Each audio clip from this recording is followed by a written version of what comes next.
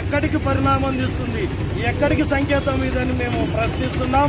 ఈ దినం మీద జరుగుతున్న దాడులను చూస్తుంటే రాబోయే కాలంలో మన పరిస్థితి ఎలా ఉంటుందో కూడా ప్రతి ఒక్కరూ మనం గమనించాల్సి ఉంటుంది.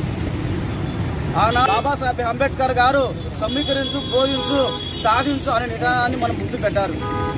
అదే నిదానంతో ప్రతి ఒక్కరూ ఇటువంటి దుష్టాచారాన్ని తరానికి పాల్పడిన వారిని కఠినంగా శిక్షిస్తూ వారి మీద ఎస్సీ ఎస్టీ అట్రాసిటీ కేసు నమోదు చేయాలని పోలీసు వారిని ఈ రాష్ట్ర ప్రభుత్వం వారిని కేంద్ర ప్రభుత్వాన్ని కూడా కోవడం జరుగుతుంది. అనంతపురం